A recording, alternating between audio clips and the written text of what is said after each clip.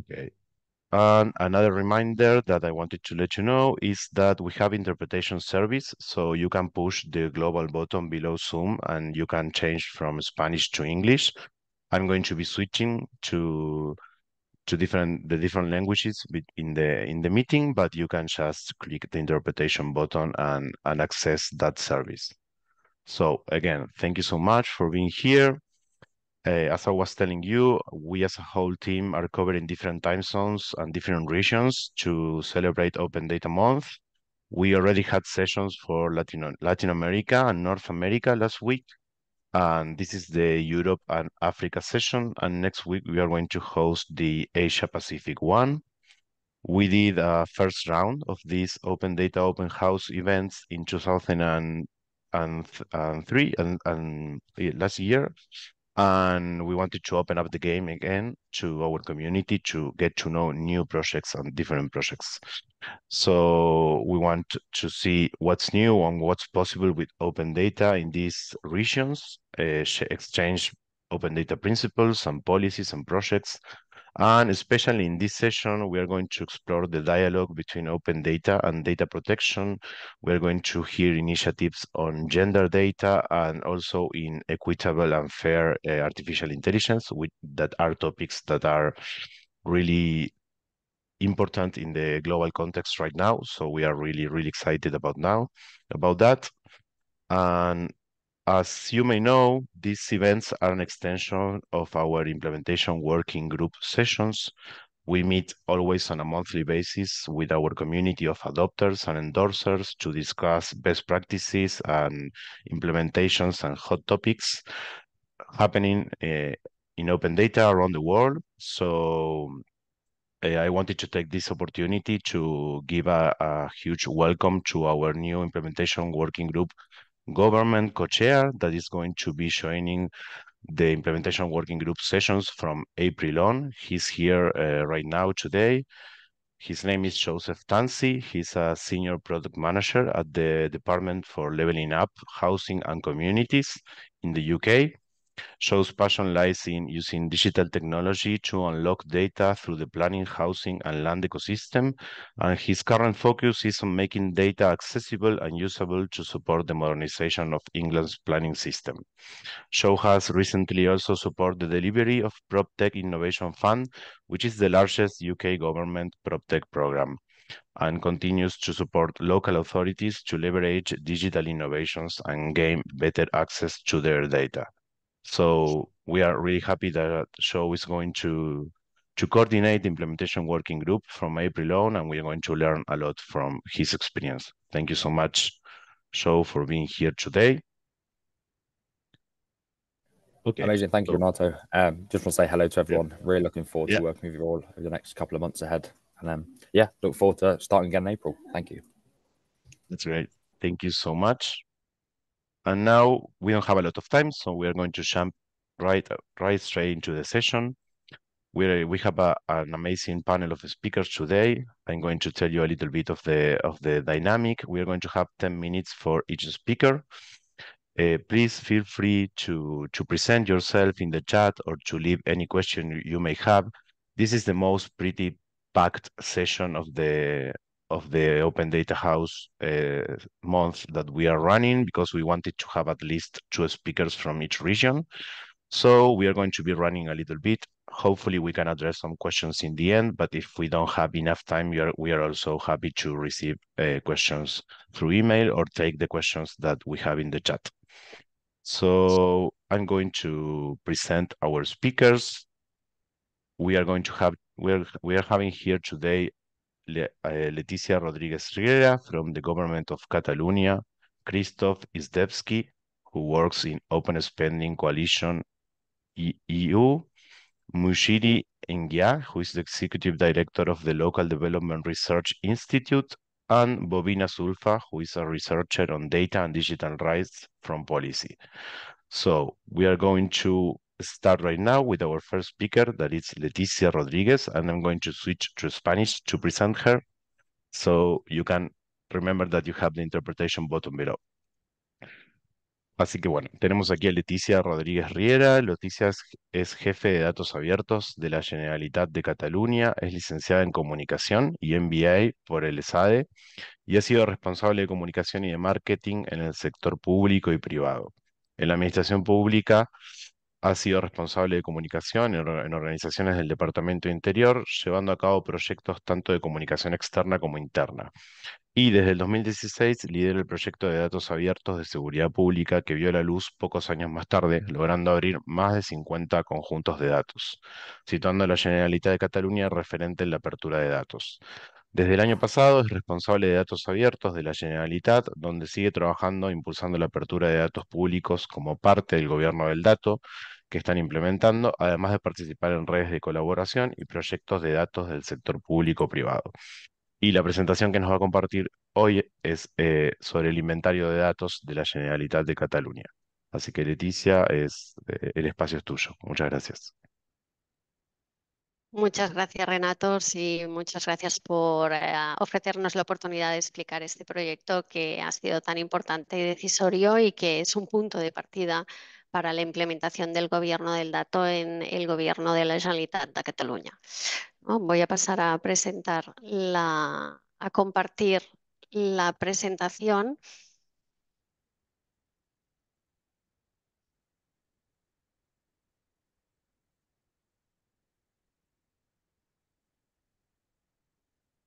Muy bien.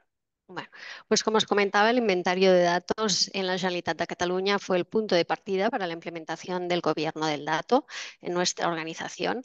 Y comentaros antes de todo que el proyecto eh, se marca en un proceso de transformación de nuestra administración. Estamos en un momento eh, cuando se empezó el proyecto en que se estaba yendo hacia la transición de una administración electrónica hacia una administración digital y también a una administración inteligente, que es nuestro reto, donde los datos eh, son un activo estratégico y que nos permitirán repensar muchos trámites para hacerlos mucho más eficientes y útiles para la ciudadanía.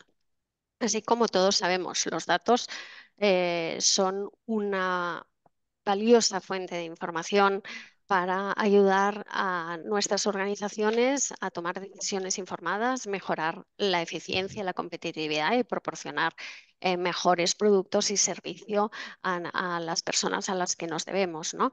Y por eso es importante que nuestras organizaciones eh, tengan asegurado el gobierno, la gestión y la calidad de los datos.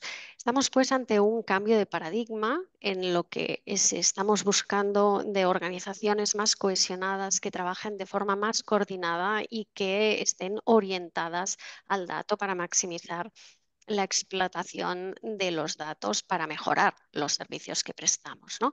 Para ello, la Generalitat de Cataluña, para hacer esta transformación, se dotó de una serie de instrumentos normativos, instrumentos jurídicos que permiten llevar a cabo esta transformación. Así, en 2020 eh, se publicó el decreto de administración digital que sitúa el gobierno de los datos como eje vertebrador de un nuevo modelo de administración. Y además, este decreto lo que permitió es definir e implantar o definir las bases que permitirían implantar posteriormente el modelo del gobierno del dato basado en la gestión del dato. ¿no? Aparte también, otro de los instrumentos de los que nos dotamos es un acuerdo de gobierno que básicamente lo que pretende es fijar eh, de forma ya más concreta los objetivos, ejes, estrategia de este gobierno del dato y concretar el sistema de organización que lo haría posible. Volviendo pues al, al proyecto, eh, estamos, nos situamos en 2020 ¿no? y en la situación que, comentábamos era que no había una suficiente conexión entre todos los departamentos, todas las unidades, los datos de la administración estaban dispersos y en definitiva faltaba poder tener una imagen de exactamente cuáles eran los datos de los que disponíamos y de qué naturaleza eran. ¿no? Así pues, el proyecto del inventario, y ahora ya entramos un poco más en detalle en, el, en, su contenido. Solo un comentario que no sé, no sé si estás cambiando slides, pero no se están Sí. moviendo en este momento. Ah, no se están Ah, moviendo en este momento. Tal vez conviene poner pantalla completa, sí, estoy en ha, pantalla completa. ah, se ha quedado, ¿Se ha quedado? Sí, sí, o sí, volver estoy a, o cambiando. volver A compartir, tal vez. a ver, un momento. Si no, puedo intentar compartir yo y, y luego, Voy a intentar. Disculpad, cosas de la técnica. Ahora sí, no estáis nada. viendo la portada, La portada, exacto. sí, y lo No, se veis, queda, se se queda ahí, claro, porque, porque no, no, no pasa la pantalla completa. Si no se puede ver así pequeño, pequeño va así cambiando, sí, pequeño. Bueno, pues vale. Bueno, Gracias. siento la- los inconvenientes. Ningún problema. Muchas gracias. Bueno, pues eh, situándonos ya en lo que es el inventario de datos, eh, es un proyecto que tiene como finalidad convertirse en un repositorio de todos los conjuntos de datos de la Generalitat de Cataluña.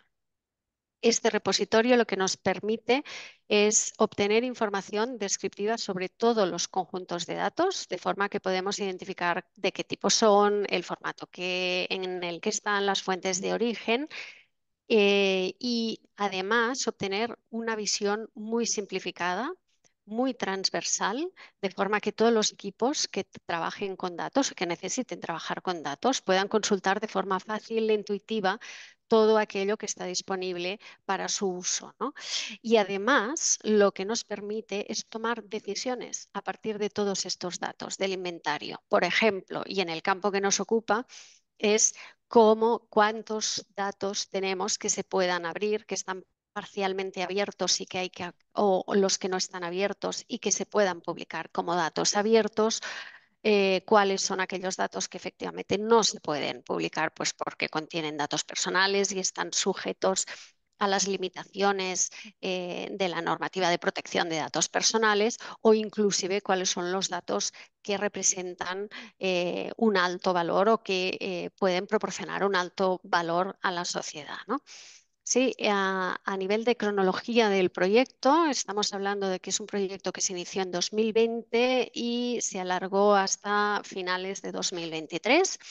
Eh, se estructuró en dos fases, una primera de lanzamiento, uh, una, um, a continuación se hizo el despliegue en todos los departamentos y en la última fase se hizo una ampliación a los conjuntos de datos de entidades del sector público. Es decir, inicialmente se hizo en lo que es la estructura del gobierno de la Generalitat y más adelante en las empresas públicas. Y además también nos dio para hacer eh, el gobierno de un conjunto de datos que si acaso lo podríamos explicar en una futura ocasión.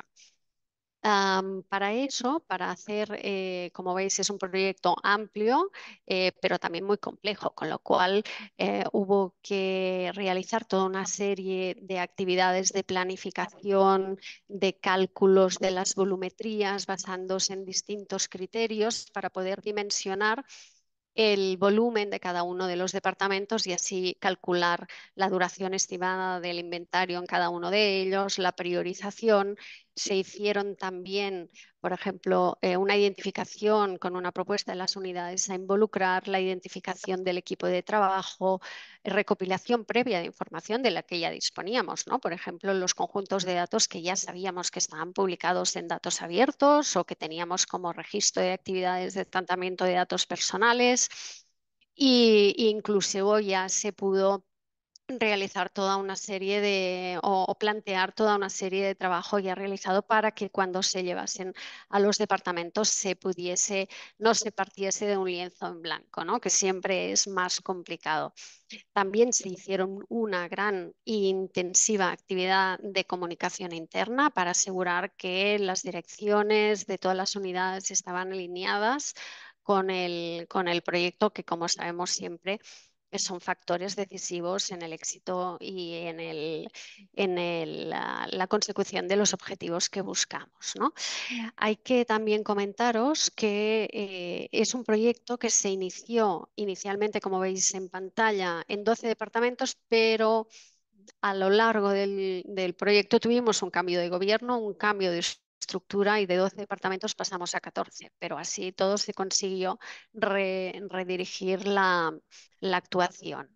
Así, el catálogo del inventario, lo que tuvimos pues fue primero una identificación de todos estos datos con el que se elaboró el inventario, se cargaron todo, todo lo que es el inventario en una herramienta colaborativa y donde eh, los usuarios pueden acceder para consultar toda la información y además de forma muy fácil se puede ver en un cuadro de, mando todos los indicadores y hacer eh, toda una serie de búsquedas. En resumen, en resumen, como os comentábamos, eh, el, inventario de datos se realizó en 14 departamentos, 67 entidades del sector público. En este proyecto participaron más de mil personas, se realizaron más de 500 sesiones de trabajo y al final de estos tres años conseguimos identificar 3.500 eh, conjuntos de datos. Pero además también se realizó un análisis posterior para profundizar en el, contenido, de los conjuntos de datos identificados que nos permitiese priorizar futuras aperturas en base a distintos criterios. ¿no? El interés que podía tener, si estaban asociados o no a algún sistema de, de, información, la tecnología con la que disponían, la calidad de los datos, etc. En definitiva, y como comentábamos al principio, el inventario de datos supuso un cambio cultural es el punto de partida para la implementación del gobierno del dato eh, y permitió que toda la organización y las personas que participaron en este proyecto tomesen conciencia de que los datos son un activo común de la organización, no individual, que los datos hay que tenerlos bien trabajados porque si no, de lo contrario, no son tratables y se han generado muchas conexiones de colaboración entre equipos del mismo ah, departamento y en definitiva se ha tomado más conciencia del valor y la importancia de los datos. Muchas gracias. Leticia, muchas gracias por compartir con nosotros esta presentación. Eh, bueno, luego si los speakers están de acuerdo con la con el Implementation Working Group se pueden compartir las, las slides para, para por, por, ese, por esos momentos en los que ha fallado, así que si no, si no hay problema luego lo compartimos con la comunidad. Eh, muy interesante escuchar sobre todo este, esta, esta visión transversal para poder identificar y tener en claro los datos de alto valor, los datos, los datos abiertos y los datos que requieren técnicas de protección de, de, datos personales. Me quedo con, con, esta visión transversal e integral de todo el trabajo que vienen haciendo a través de, de estos años. Muchísimas gracias y voy a cambiar nuevamente a, a inglés. I'm switching to English again to present Christoph Izdebski, our next speaker. He's a co-lead at the Open Spending EU Coalition and is a legal and policy officer at the Stefan Batory Foundation in Poland. Um, he's a fellow of a member of the OECD Innovation Citizen Participation Network, and he's a lawyer specialized in access to public information, reuse of public sector information, and relations between technology and democracy. He has wide expertise in relations between public administrations and citizens, and he's the author of several papers on transparency and open data. He also, he's also specialized in legal aspects of the prevention of corruption. He's going to share today a, a, presentation on opening spending data, struggling with personal data protection and politicians' comfort. I think that the, the dialogue and the balance between open data and data protection is a super interesting topic, and I, I would like to to hear from Christoph uh, how this operates in in a specific topic like open spending and open procurement. So thank you so much for sharing this with us, and the floor is yours. Thank you so much. Uh, thank you so much for invitation. I'm uh, very happy to be able to present some of our work uh, that uh, we are doing at the Open Spending uh, EU Coalition. Uh, just to check whether you see my presentation so far. Yeah. Okay. So uh, we were actually the just a few words about the Open Spending EU Coalition. This is a non-formal network of uh, over 40 organizations and individuals, uh, activists, academics, journalists that would like to see uh, EU funds being more open and more transparent to uh, to the people for different reasons, of course. So we have different, I would say, different stories why the data should be open. Of course, from the journalistic point of view, it would be uh, covering corruption stories, for example, analyzing the, the, the, general spending of, of the governments, including those from the European Union uh, budget. Uh, for us as an activist, um, and uh, I would say the main aim of the uh, coalition is to have uh, open, fair, and accountable public spending in the EU, meaning that we want to prepare a ground, a base, a fundament for uh, people who would like to use the data or needs the information on public spending. And although um, we are mostly uh, consisted of journalists, academics, and activists, as I was saying, we are cooperating with uh, uh, public um, officials, uh, with public institutions. We have also a kind of a parallel network of people working in public procurement offices around the EU, because this is also in the interest of the public, as Leticia was saying, actually, this is also in the interest of the public officials uh, to have an access uh, to um, uh, information. Um, so saying this, we are concentrated basically on three main issues, um, which is the um, uh, EU open data, and we work heavily towards uh, convincing the European Commission, because this is uh, the primary responsibility of the European Commission, to include public spending and public procurement as the um, uh, high-value data sets uh, according to the Open Data, data Directive. Uh, high-value data sets, very shortly, uh, high-value data sets are the data sets or the data that uh, has a high value to the society. But uh, what is interesting and important is actually that the European Commission can oblige member states to um, submit them or publish them in the open data formats. Um, which will mean that actually we will, if it happens, of course, and uh, unfortunately we have to probably wait for the for the new um, uh, for the new commission after elections in in June, um, uh, which will basically mean that we will have a single market of transparency. As as you may aware, um, not even the people from, from the European Union. There is a single market uh, concept for, for everything, but unfortunately not for transparency. And this is the part of our work is that if you want to really understand how the European Union works, how the public spending works, you have to be able to analyze and have an access uh, to the data from member states in the similar formats and uh, with uh, the similar data fields, basically. So uh, this is something that we, I will, I will come back to, to, to, the issue a bit a bit earlier. Uh, we also um, uh, are interested in um, showing the case why the open data, why the open spending is important in, in the in the in the in the EU budget uh, and and generally uh, on on the level of, of public finances. And we use the uh, one of the mechanism, financing mechanism um, uh, from the EU, which are the uh, recovery funds. Recovery funds are the funds that uh, the European Union distributed among member states after the pandemics. Uh, and everyone knows about it. We don't have to, you know, very often when we talk about open data, when we talk why it is important, it's like for a lot of people it's complicated. But that's why also be using uh, this example because there are a lot of money being poured there. This is one of the biggest uh, funds uh, covered by the EU budget. Uh, but also the people are kind of understanding uh, why it is important because uh, member states and the citizens eventually they're getting this um, uh, this uh, this this this money. Uh, but also, as you can see in the in the middle, and I hope you can see my presentation actually. that we also work on the company ownership. There is a, a very interesting case we had um, now almost two years ago in, in the European Union, uh, where the European Court of Justice said that unfortunately there is no possibility of uh, having an access uh, to the beneficiary ownership um, uh, data. Um, uh, it, it, can be only accessible by the people who have a, a legitimate aim.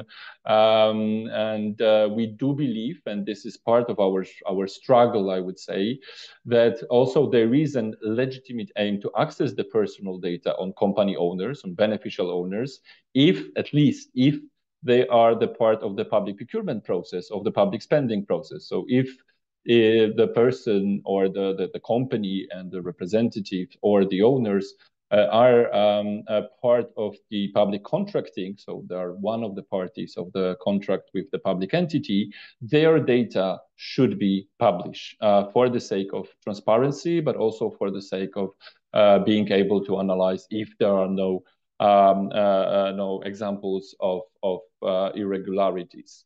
Um, so I'm just looking at my uh, watch and my my stopper. So, uh, so basically, yes, this is this is something that that we discuss heavily. We are co cooperating with TIA, uh, Transparency International Secretariat.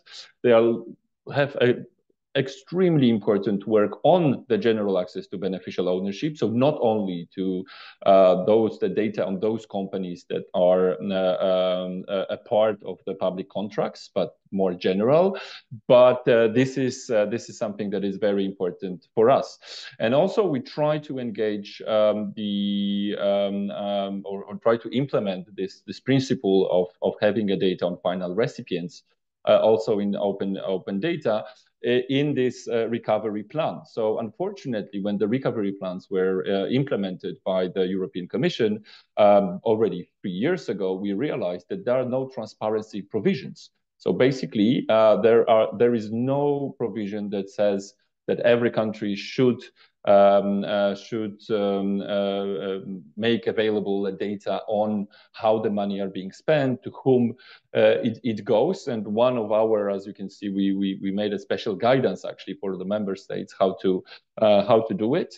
Um, uh, that included the open um, the, the information on the um, on the beneficiaries, the final recipients. We had some sort of the of the success because uh, then a year ago the commission together with the european parliament decided that actually they will publish the list of the 100 biggest recipients of re recovery plans. And we were like pretty happy. We can have later discussion why 100. It's it's a relevant question, uh, but uh, but this was a decision of the Parliament and the Commission, the 100 biggest recipients. Uh, but eventually, what we actually understood a bit later that the interpretation of the Commission was that the final recipients are not actually the final final recipients as contractors and subcontractors, but only the, uh, the, the institutions that got the money.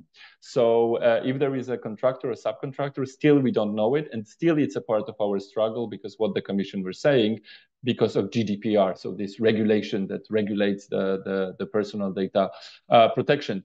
Um, so also in our works, we try to check how countries actually are fulfilling this obligation. And as you can see, only one country haven't submitted any, any data, but not only we are, we are looking into the information, what kind of a data are being um, uh, submitted, but also whether there are in the open data formats. And as you can see, it's uh, it's uh, it's it, it, goes it goes pretty well.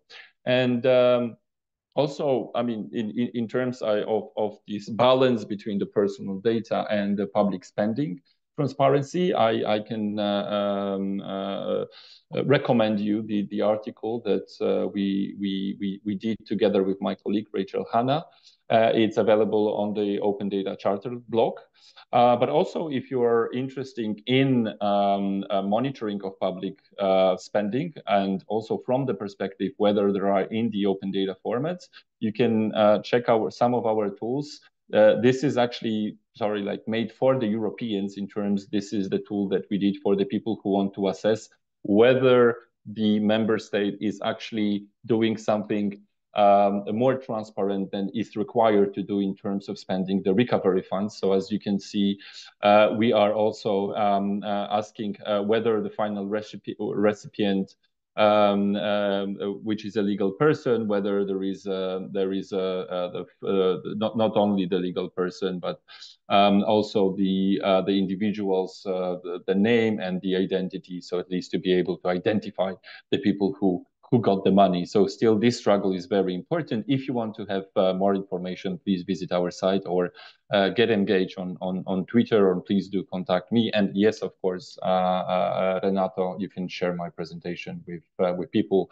Maybe uh, I will add um, this direct link to the, the blog I was I was talking, telling about, and I'm looking forward for next speakers and more discussion about what I said in this speedy dating open data Uh, event. Thank you so much, Christoph. This has, this has been really interesting to get to know a little bit more about the, the dialogue between access to information and personal data protection that are both human rights and shouldn't eh, one shouldn't exclude each other. And also to hear about specific tools and reports you have developed and the and the specific cases on beneficial ownership and the recovery funds. So really interesting. Thank you so much for sharing your knowledge. We are going now with our next speaker, Muchiri. Muchiri is a co-founder and executive director of the Local Development Research Institute, an action-oriented think tank supporting efforts to, of African countries to take practical evidence-informed actions to end extreme poverty and hunger and reduce inequalities. Muchiri has worked in data technology and innovation for development for more than 24 mm-hmm. years, 14 of which have been spent focusing on mission-driven governance, improving availability of data for decision-making, and strengthening open government in Africa. In this context, he has led research and implementation teams working in food security, nutrition, artificial intelligence, and good governance. And he's also our vice chair board in the, in the Open Data Charter.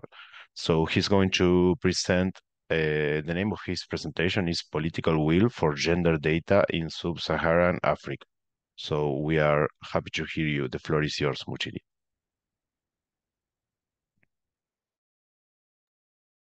Thank you, thank you, Renato, and thank you to um, Leticia and and uh, and uh, Christoph for your presentations.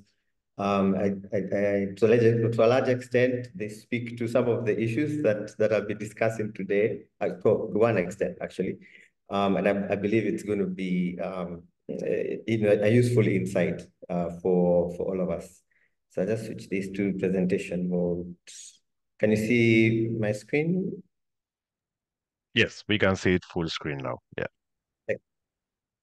So, uh, so just a short, uh, short intro. Uh, the Local Development Research Institute is a uh, action-oriented uh, think tank. We're very much on the implementation research side of things. Uh, we support African countries in their efforts to implement practical and evidence-informed actions to address hunger, poverty, and inequality. And because evidence is such a big part of our work, data is a, a type of evidence that we really prioritize and we work around uh, a lot. Our work is in food security, artificial intelligence, primary healthcare, um, and in governance. So uh, you see our, our, our presence in, in, many of these spaces. Um, and when it comes to inequality, uh, one of the uh, focus areas for us is, is, the, is the issue of, gender and the inequality that uh, presents itself in, in, uh, in, in the context of, of, of gender. So um, in the last year, my colleagues, uh, uh, Amina and, and, Felicia, worked on uh, two pieces of research uh, to understand on one, on one, on one hand, the uh, what, the political will uh, looks like for, for gender data, as, as we identify, as we've identified in the past, that political will is, a, is an important ingredient, an important, an important precursor even for the emergence of strong data ecosystems. Uh, and on the other hand, you know, looking at what the capacity is for institutions that are working around um, uh, around data uh, or in or with the sectors that we feel particularly require mature data ecosystems. So um, this this uh, this particular uh, presentation is, is mostly around the work we did on, on political will. Um, we looked at 20 African countries. It's part of a broader uh, project that looked at 30 countries globally. Uh, this is the report for this work and the global synthesis report are online. I'll put I'll share the links um, on the on the chat. Um, and we'll be happy to hear from you, your thoughts uh, in the chat, and, and afterwards, feel free to reach out, um, even as we explore the next uh, scale up for, for the kind of work that we want to do in this area. Um, so as I mentioned, this was a qualitative study in 20 African countries, um, and they spanned Anglophone, Francophone, and Lusophone, uh, we tried to get a, a broad, uh, broad spectrum. These are also many of the countries where LDRI has country researchers that work on some of the research areas we, we conduct. So the selection criteria was also partly based on, uh, on our existing presence in, in these countries. Um, the questions we asked were in these broad three categories. One around resource mobilization. And this is mostly because we're interested in the extent to which countries are investing their own resources um, for, uh, for, for data, uh, but particularly also around, around, around gender data. So domestic resources is a big issue uh, that we looked at. Uh, we looked at technical capacity. Um, so these are areas where the countries either have great strengths or, or challenges on collection, analysis, uh, dissemination, extracting insights. Um, and this is also that relationship, that technical relationship between the experts and the policymakers on one hand, because that's that can be an important interface um, and one that causes some challenges for, for those working on the technical side. And the third area that we looked at was use. Um, so thinking about that interface between technical experts um, and, and policymakers, um, and consequently also how the data is used to uh, make that uh, uh, uh, information more useful to, to those who need to make decisions. this this then becomes an important area to look at. And because we're also very implementation focused, this is an area that we, we look at a great deal. You know, is is the data available? Uh, is it available and actionable? Um, so political will, uh, you know, this is such a fluid concept, it could mean anything. Um, in, in this case, we were using this definition. Um, gender data, uh, political will for gender data refers to the commitment and determination uh, of governments and policymakers to collect, analyze, and use data that specifically addresses gender issues. Um, so we went further to try and understand what the what the domains would be that would be looking at, and and so we we we um, structured our our research and our study um, in, in trying to discover um, things within these five major areas. First of all, what definition is being used for gender data in, in our country? Are we on the same page when we say gender data? Uh, or, do, or do countries um, have, have a different working definition from, from other countries? This is important when you're trying to figure out if you're, if you're both talking about apples or whether you're apples and oranges. Um, then we wanted to find out what the governing frameworks look like. Um, governing frameworks tend to exist due to a political uh, process. Um, so they could, they could be an interesting uh, signal for the extent to which there is real political will at a macro level. And then, of course, financing. Again, an area where there is extreme political contestation because resources are limited. Um, and therefore, you know, who wins in the shuffle can tend to signal where the where the greatest interests are and where countries are willing to put and leaders are willing to put their political energy. Um, and then, of course, we're looking at the use of that gender data for, for decision making. How, what's the extent to which it is used? Um, is it usable? Um, and then our stakeholders are coordinated and, and brought together in the development, the collection, anal analysis, and dissemination of, of, um, of, of, gender data in the country. So um, really quickly, th this these are the, the overall high-level findings here. And I, want to probably preface this by saying, when we when we talk about open data, and, and LDRI works, works open data a lot, and, and, and we've done so for a number of years, there are certain assumptions that carry uh, our work in, in most in most places around the world, and I'm, I'm assuming most of us as well. Um, and sometimes we assume that the capacity exists, that the data can be there, um, and sometimes we can distill this down to some very basic um, ideas that, you know, uh, we need to put more investments, we need to build technical capacity, we look for the data portals, where the portals, put up the portals, let's see the data. Uh, but the, the two big pieces that sometimes are invisible to us. And on one has to do the political will for instance. Then you see this in, in, the, in the work Leticia was talking about. Uh, it's almost impossible to do if you don't have uh, the, the kind of political buy-in that you need. And the work that has been done at the level of the European Commission, um, you know, whether it's GDPR or, or spending, procurement, etc., that, that layer of political in, intention and the determination to implement is a really important signal. Um, so that's, I, I have to preface that you know, these next five um, slides with, with that, so that we get a, you get to understand why we, why we're prioritizing this particular lens, this political lens for the work that we're doing. Um, so defining gender data. I think one of the things that we found is that gender data is, is often interchangeably used with the idea of sex disaggregation, and that's not all that it is. Um, the, the gender issues that you'd want to see reflected um, so that the data can be used to address the issues affecting women and girls um, sometimes go beyond just disaggregating a data set by, by, by, by sex. Um, so having this uh, uh, broader and, and more um, comprehensive understanding of what gender data is, is extremely important because then it carries through into how the translation happens in policy. It, it carries through into how translation happens into financing. You know, what then shall we put um, money behind? If we don't do that, then the diversity that exists, the nuances that exist between men and women, boys and girls can tend to be uh, left out. And then the data collection goes on to pick up that bias, that um, that that absence of, of diversity into the data collection. The end result is that you do end up with data that isn't um, uh, adequate for, for addressing the issues facing facing women and girls, women and men, boys and boys and, and, and girls. And that's that's a really important thing. So the the the the, the more we we restrict our understanding to just sex disaggregation, the more we fail to do justice to, to the issue. And that, that was something that we saw that was very common across, um, across many countries.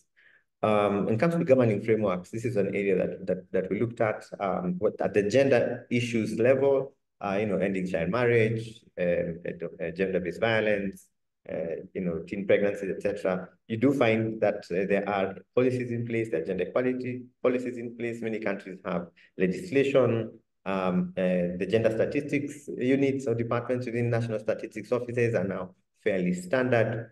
Um, so that level of governing infrastructure is going a great, is going to um, a, a, a, quite a distance in, in many countries. And uh, gender focal points have become a really big part of it. And um, part of this uh, research was possible because we worked closely with uh, the gender uh, data focal points in, in these countries were part of the Africa Gender Data Network, uh, which which is uh, uh, uh, hosted and supported by Data2X and, and, and PARIS21 and other partners. Um, and it, it's a really important a, a collective of reformers and champions for gender data across the national statistics system. Uh, and these focal points are, are, are, there. So at the governing frameworks, we, we're not doing badly, uh, but we do have a, a, big gap when it comes to the actual um, governing of gender data specifically. Um, so that's that's still an area that requires a bit more a bit more work. Um, and and uh, the, the, the tactics and strategies that um, um, uh, Kate uh, talks talks about in the global synthesis report kind of show you how countries are, are trying to address that um, in, in, either beginning to or contemplating how to approach the, that particular problem. Um, and then there's a big the big issue of financing. This is an area where if, if data doesn't just make it out by pure magic, uh, investments need to be made, and that money needs to come from somewhere. Um, almost across the board, the primary source of that money has tended to be development partners. Um, and that, that does create uh, certain challenges for sustainability um, and, continu and continuity when it comes to availability of data for specific data points. Because if the data is only available when there is a donor project, then that means when the project is done, that funding, that data pipeline uh, cuts off. You know, so domestic resources are a very important part of making sure that that uh, data is, is available. Um, so I'll, I'll, let you unpack that in, in the report and in the global synthesis. Um, and of course, there's the issue of gender data um, uh, use. Um, I think what we found in many places is because some of this data is coming in from a, a flash and burn type of situations in a project that started and ended, a, a program that's that only focused on a specific area, um, and, and whatnot. Then you find that you have data that's not granular enough. If you if you're working in a region where um, you have a, a geographical uh, location that has you know a, a large square kilometer uh, area, uh, the, the realities in one area might not be the same in another due to cultural changes, geography, um, urbanization, etc. So if you do not have data that allows you to unpack the realities and nuances at that level, then you miss out um, on an entire population, entire context. So gender data that is not granular enough has tended to be the norm. Um, and that's that's an area that that uh, that needs to be looked at a great deal. And of course, we have issues around formats, Is it a scanned document? Is it an, an actual machine readable data set? Uh, the, the, the, the variance there is, is, is wild. Um, so there's a need uh, to work together around a standard, around, uh, around norms for how data is, is made available. And of course, if you don't have, if you do have domestic financing, then that data becomes more uh, sustainable and continuous. Um, and just as a bonus issue, remember I, I spoke about the work we're talking about on maturity. If uh, we're assuming that the data is there, when you go into some of these governments and you're trying to push for them to open up the data, you find sometimes they don't even know that the data exists. Because the, the way that it exists in these governments mean that in many instances, the government doesn't know what the government knows. So the data is in attachments on people's emails, it's on flash drives, it's on personal computers, it's on uh, personal Google drives.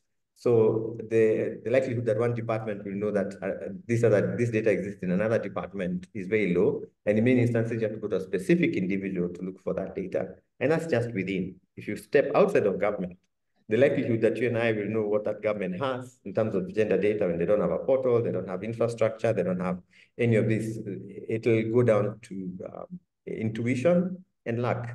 Um, and that's that's something that uh, we've identified as a major as a major concern. So although we looked at a small sample of subnational governments in Kenya, it does seem to track at the national level and also track across across uh, across uh, countries in, in sub-Saharan Africa, especially anecdotally. And finally, Muchiri, yes, I, we have only one minute left, so sorry. Yeah, but, yeah, but the, the, the coordinating mechanisms um, for, for data exist in many countries because of the work that's been done around development of statistics, working groups, sector working groups, etc. Um, exist. A lot of work has been done around around issues of women's rights. So there's a lot of coordination that happens there. Um, so in this in this area, um, the coordination can now be a platform that allows for greater engagement and scale up. Uh, so that's one, one of the areas that, that, uh, that the sector is doing really well in. Um, so these are the general recommendations that we've been uh, uh putting out and we are chasing for better governance, better infrastructure, investments in human resource, um, and of course, making sure that a lot of those investments are coming for, from domestic sources so they can be more sustainable and, and, uh, and, and have more continuity across time. So that's all. thank you for your patience. Um, I'm I'm putting the the, the link in the chat. Uh, please do have uh, do take the time to have a look. Uh, both reports are linked there, the global and the regional. Um, and yeah, look forward to hearing from you. Thank you. Thank you so much, Muchiri, for the presentation. And sorry for for rushing you a little bit. Uh, and thank you for also sharing the resources in in the chat. It's going to be very useful to look at them. Uh, I think it was very interesting uh, the part about the challenges you shared on funding, on coordination, and also the highlight how you highlighted the importance of gender data for decision making. So thank you so much for your presentation. And now we are going with our last speaker. Uh, her name is Bobina. He's, she's an, an interdisciplinary data and digital rights researcher at Pollicy. In her work, she currently focuses on researching data governance as well as the development, adoption, and deployment of artificial intelligence of the African continent and how that particularly affects African women. In this, she specifically tackles issues of ethics, human digital rights, justice, decoloniality, policy, intersectionality, and other Afro-feminist data and digital ideals. She's going to share with us her presentation, The Need for Afrofeminist AI as a Path to More Equitable AI Systems. Thank you so much, Bobina, and the floor is yours. All right, thank you very much. Um, hi, everyone. I very cognizant of the time and so i'm just going to wrap it up. I think i've decided to pivot my conversation just because of the time i have left and just listening to what everyone has been sharing. Uh, Muchiri, it's very interesting to hear about the work you've been doing. We just put out a report on gender data as well from a feminist perspective which builds very much on a lot of the things you're saying. Leticia it's very interesting to hear what you are sharing with what you're building with the gender. I think we are doing something similar with the ogp secretariat in kenya and trying to see how gender data is being used to influence inclusive digital governance. But uh, it would be very interesting to learn from you and just see what's happening in there because the challenges are uh, we're already seeing when it comes to just being able to open up that data, etc. But very nice to hear from you all. Uh, I think for me, just to very quickly wrap this up would be I have just been, you know, uh, at the intersection of the work we're doing at Pollicy, uh, which is um, basically looking at data tech and how does impact society, and open data, which is the conversation here. I I think I've just been thinking to myself, um, what what is the state of open data in Africa, and um, you know, where where we with open data as as a whole, and is it something that we seem to be interested in right now as a continent? So I was looking through the open the uh, the the charter's website, and I was just looking at uh, signatories and who's partaking in this and that, and I think it leaves a lot to just um, you know paint a picture of if a lot of so for example there is the the the six um, inclusive i mean the six open data principles. So it speaks to issues of, uh, for example, inclusive development, etc. Um, you know, accessibility, etc, etc. And I think from the work that we do, I have just been asking myself, which is, you know, primarily through an Afro-feminist lens, we we have we ask ourselves these broad aspirations that we have through open data, what open data can do for our communities, our society, is it are these contextualized to meet the the needs and realities of different communities? So for example that is you know broadly explore, explored in our work through the idea of intersectionality you know people have dissecting needs and realities they're very diverse needs. And so to just come and for example make the assumption that just having open data would bring about inclusive um, inclusive development is just an assumption that that lacks context and nuance like uh, a lot of the speakers before were speaking to that. Um, and just you know to build on that then comes in also the idea of very broadly i think when you look at uh, we had well, an interview recently with one of the people we're doing, we're speaking to in our research, and they did mention that something that has been happening where we've seen open data regressing in governments here is because they feel, for example, that the data is um, when they open up the data, it is taken by uh, persons from across the globe, and then it is repurposed and brought back as products that are sold to them. And for me, I think that was a very telling thing because it speaks to the the the geopolitics and the power dynamics at play when it comes to open data. I don't think we speak to that enough, and so the decoloniality conversation I think comes in there very strongly. You know, we can speak to, for example, you know, uh, when you look at a lot of the conversation around AI, for example, on the continent has been, do we have available availability of data sets on the continent? But if big tech comes in, they're able to get the data sets, but local developers are not able to get the data sets. Why? Because of the power that they they, they wield, you know, in this in this space. Uh, we could also look at governments. Are governments willing, again, for example, like Leticia was was sharing, are governments willing to share their data with the public or with developers?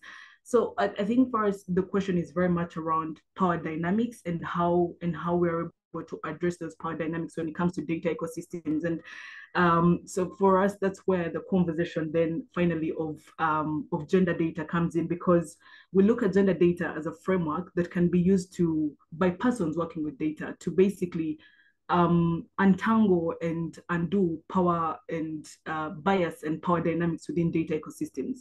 So data ecosystems are not free without, are not free of bias like we've seen. They're not free of prejudice. And so to be able to do away with that, we have to look at, you know, to do this critical analysis and look at instances where data, I mean, where bias uh, seeps into these ecosystems. So for, for example, we were um, with the gender data work that I mentioned we've been doing previously, it's actually published a few weeks ago. Um, we mapped uh, in the four countries we were studying the state of gender data, and we found some things that were interesting. And I thought I could just stop on that note in, with my sharing. One, we found uh, computational data seems to have this, um, it's been given a more superior sort of um, positioning compared to more indigenous forms of data. And then looking again at the issue of open data here, where, where do you find open data on the African continent? Do you find it in computational uh, systems and and um, that space where where we have you know we still have a digital divide and things like that uh, we saw issues to do with for example neoliberal feminisms where we're told to make a case for um, you know where gender bias exists in at the national decision making level. For example, uh, we have seen studies where you know a, a, a, cost cost case has been made for you know this is how much uh, the government loses when we have violence against women and I, you know uh, that again paints the picture this is where bias comes in when we're looking at now how to start unpacking gender data because why is that the approach we're taking to approach a social justice issue? Uh, we looked at for example among uh, still under that state we looked at the issue to do with the growing uh, there is this growing opposition to gender equality across the continent. And i think globally we, we've seen it from covid where there is this popular movement against just gender equality, the gender equality movement or feminist movement. And again, that tells us that this is where, so this is just me trying to say that we, we then have the opportunity to look at open data from a more critical stance and look at how do we indeed have open data that promotes this sustainable development we're talking about without us just using these broad aspirations and terms that are not contextualized to the different um, communities and societies across the globe. Thank you very much. And I'm happy to have a chat with anyone outside of this and share more about our work. Thank you. Thank you. Thank you very much, Bobina. I think it's it's been really interesting to to to close the, the session with, with your thoughts. I totally agree that we need to to to give a context for for for open data and, and thanks for bringing up this intersectional view between be, between different different topics. Ai data trying to to have a gender lens to see what's what's going on trying to see what communities are producing that data the geopolitical view too and and also try to to generate awareness on how we can uh, address uh, biases and prejudices in in the data we are we are working on. It has been really really interesting. Thank you so much for that we, I'm really sorry. I think that maybe this session should be a little bit longer. What we we are getting to an end. Uh, we don't have a lot of time to for a for for an open discussion, but we really wanted to make sure that this session had four speakers, two uh, from each region, and we what we wanted to go from between different projects. We we heard about a project on of a governmental project on on a data inventory. We heard about the balance on data protection and access to information in specific topics like re recovery funds on or the beneficial ownership. We heard about a project of political uh, will on gender data in Africa, and we heard uh, the thoughts that Bobina from Pollicy uh, share with us in this inter intersectional view uh, and and the mix between AI and the importance of of data for for AI systems. So I think it has been really insightful. I'm going to share in the in the chat a few a few links. Uh, here's our email. So if anyone wants to keep going on with the conversation or has some question that hasn't been answered, you can reach at us. And also we are going to be sharing the presentation of our speakers with our network. Also in the, there's a link of Eventbrite for our next session that is going to happen next week. It's focused on the Asia and Pacific region. So we are happy to, to host you next week too. And also I'm sharing the calendar of events. We have an open calendar of events from Open Data Charter where you, you can find our events and also, also you can upload your events and to share them with the community. So I would like to, to really, really thank our speakers again for being with us. Sorry if I had to rush you a little bit. uh, I think we, we we should take some lessons and maybe maybe we can make a, a longer edition next year. And thank you to all the participants who have been here the whole session hearing to us. So thank you so much, everyone, and hoping to meet you soon. Thank Until you. Next gracias. Time. Bye, everyone. Thank you very much. Bye. Bye.